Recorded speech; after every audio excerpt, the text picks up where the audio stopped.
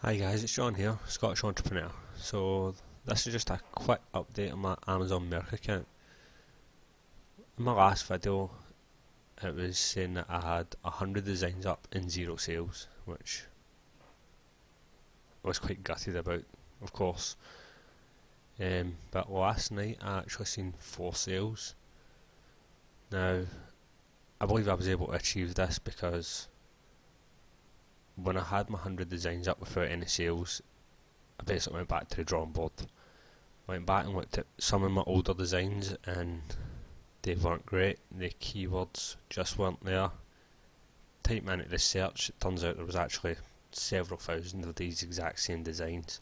So took a bunch of them down, used my Merch Informer and started really researching again. And during the weekend there I just started uploading a bunch of new designs. This time bit more thought into the process, bit better keyword terms, hopefully ranking better in the search results and more importantly less competition. And it seems to have panned out. As you can see on my dashboard here, these four designs that sold yesterday, they were four separate designs. They're not. That's not four of the same T-shirt. It's four completely different designs. So hopefully that's a good sign. Although the profit wasn't exactly great. If you can see down here, yesterday it says sold four but made 13 cent.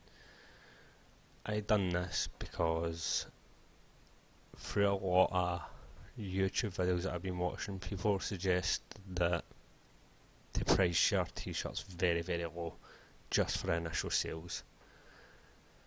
It did get sales, but it's you get excited when you see the sales, not so much when you see your actual profit margin. Hopefully, this is just short term. This is just something that's going to help me rank better in the search results for these designs that I have sold and then I can start putting the prices up and start seeing some proper proper profit. I'm at tier 100 you see here I've only ever sold 17 t-shirts so I mean I was hoping to tier up to what 500 because I've got 100 designs up but people are saying it's due to how many sales you need to make 500 sales to get to tier 500. I don't know if that's true because I know that I didn't need 100 sales to get to tier 100.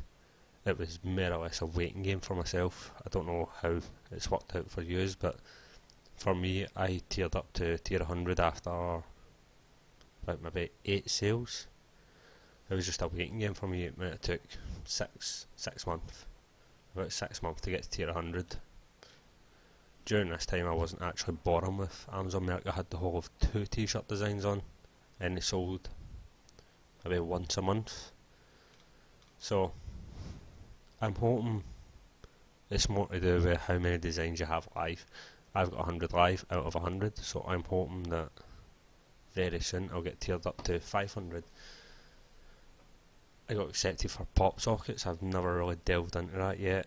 Um, what about yourselves? Are you seen any any profits from pop sockets? It's not really something that I believe would make a lot of money because the competition for them is just the individual sellers or the FBA sellers are selling these at like eight dollars. Now for you to make any sort of profit you need to be selling for like 14 15 dollars so I don't know how you can compete in that market but I suppose it it really just depends. It's the same with t-shirts, isn't it? So let me know how you're doing with pop sockets. I'm waiting to get opened up to the UK market. I'm still just stuck in the US market, which is great, but I believe it in the UK market, being from the UK, that I can actually dominate in that market because I know what people are searching for over here in the US it's a bit different. I have to use things like Google Trends, read the news constantly, world news, United States news, find out basically what's happening over there.